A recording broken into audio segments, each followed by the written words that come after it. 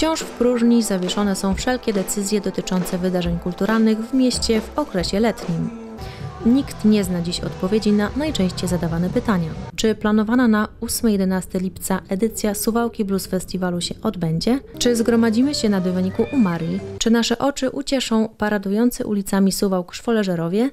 Co z planowanym na sierpień festiwalem filmowym? Pytania można mnożyć.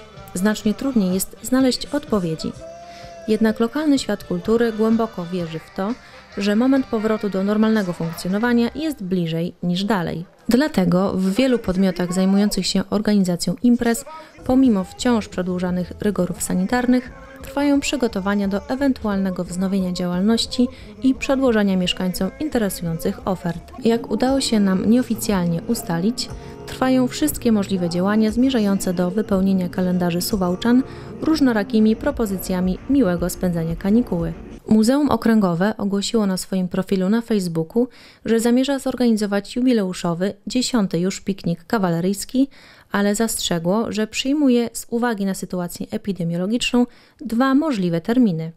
26-27 czerwca lub 21-22 sierpnia. Dyrektor Suwalskiego Ośrodka Kultury również nie zaprzecza, że trwają prace nad organizacją sztandarowej suwalskiej imprezy letniej festiwalu bluesowego. Niestety terminu pierwotnie planowanego na 8-11 lipca nie można potwierdzić, przy czym Alicja Andrulewicz z całą mocą deklaruje, że realizację zamierzeń festiwalowych mogą pokrzyżować wyłącznie rygory sanitarne. Jak nas poinformowała szefowa Soku, więcej konkretów i wiążących decyzji można się spodziewać pod koniec kwietnia. Pozostaje nam tylko czekać.